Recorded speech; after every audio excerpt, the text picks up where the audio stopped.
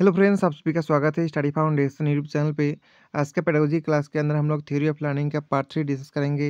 ये class number बाईस से इससे पहले का क्लास का लिंक आप सभी को डिस्क्रिप्शन बॉक्स मिल जाएगा।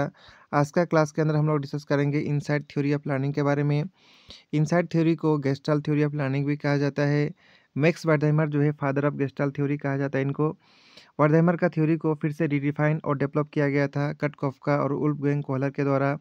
गेस्टल का मतलब होता है whole total composition according to this theory इस थ्योरी के हिसाब से individual learns an object as a whole individual जो है किसी भी ऑब्जेक्ट के बारे में एज ए होल सीखता है पार्ट के अंदर नहीं सीखता है।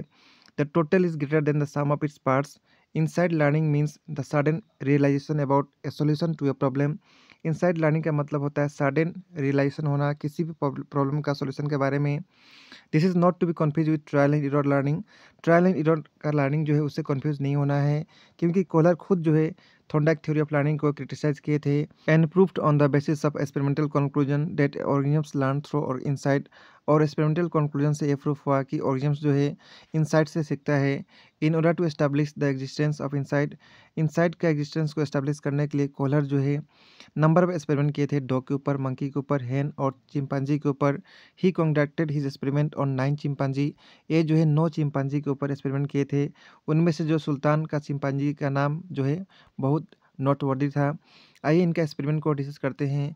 Kohler in nineteen put a chimpanzee inside a cage, a bunch of bananas was hung from the roof of the cage a box was place inside the cage the chimpanzee try to get the banana by jumping but could not get them due to height the chimpanzee finally use the box place below the hanging banana and climb on the box and got the bananas in another experiment the chimpanzee require two और three boxes to reach the banana. The chimpanzee, namely Sultan, was able to learn placing of one box on another and succeeded in getting the banana. In another experiment, a bunch of banana was kept outside the cage. Two sticks were placed inside the cage. After several trials, the animal joined the two sticks and pulled the banana in with a stick. तो ये था Kohler का experiment इसके बाद next हम लोग इनका criticism को डिस्कस करेंगे trial and error is essential element in gestalt at one stage to another trial and error का यूज़ जो है इनका थ्योरी में भी देखने के लिए मिलता है, जो कि सबसे बड़ा इनका क्रिटिसिज्म था। Every kind of learning like reading, writing, speaking can not be explain by gestalt law. Gestalt का जो लो था, वो सभी टाइप ऑफ़ लर्निंग को एक्सप्लेन नहीं कर सकता था। Kohler did not consider individual difference. Kohler जो है, इंडिविजुअल डिफरेंस को ध्यान में नहीं रखे थे। No emphasis on cognitive development.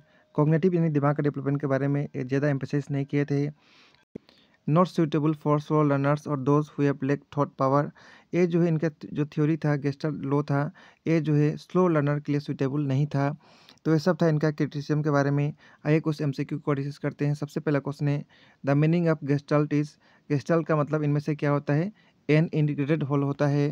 तो सही आंसर होगा option number two next question है the exponent of insight theory is insight theory का एक्सपोनेंट इनमें से कौन है? इनमें से कोहलर जो है एक्सपोनेंट माने जाते हैं। तो सही आंसर होगा option number one next question है who is founder of gestalt psychology gestalt psychology का फाउंडर या फादर किसको कहा जाता है?